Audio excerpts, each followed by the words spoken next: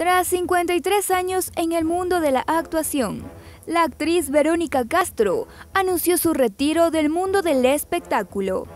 Verónica dijo que la vida le ha cambiado mucho, pero que está cansada y no puede con la agresión y el escarnio. Con una publicación en Instagram junto a una de las canciones de su hijo Cristian Castro, la diva comunicaba al mundo entero su decisión.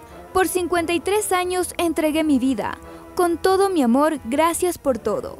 Estoy agotada de tanto mal y como lo vengo diciendo hace ya muchos años, quiero paz. Es parte del mensaje de Verónica Castro. Actriz famosa de telenovelas, Verónica debutó en los escenarios en 1964 y protagonizó las producciones Los ricos también lloran, El derecho de nacer, Rosa Salvaje, entre otras.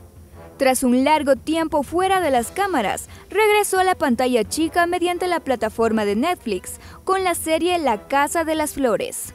Luego del escándalo producido por la actriz y conductora Yolanda Andrade, quien dijo públicamente que se había casado con Verónica. Hoy, la aclamada actriz se retira de la actuación.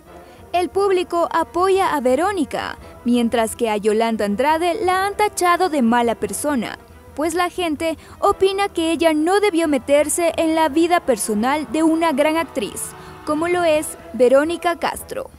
Informó Evelyn Quespas.